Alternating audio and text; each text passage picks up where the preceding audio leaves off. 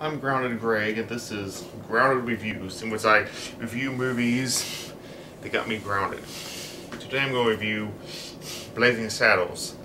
That's a movie about. Let's see, it was directed by Mel Brooks. It has Harvey Korman as this guy who went to run out of town. So, so again, it's just for, for gold or something, and he figures the best way to get the town to, leave is to have a, have a black sheriff hired. He, he gets the mayor to go along with it uh, on the grounds that the mayor could go down history as the first man to, to hire a black sheriff. And of course, of course, the, the, the townspeople are racist at first, but then another sheriff actually does a really good job. It's a really funny movie. Because my parents, watching it, they ground me.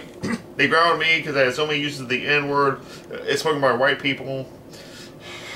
They also ground me because of the big farting scene. To be fair, I don't think the farting scene is really that great, but. By the way, it is a great movie. I can't believe my parents grounded me over it. Yeah, I say. Blazing Saddles is a movie worth being grounded for.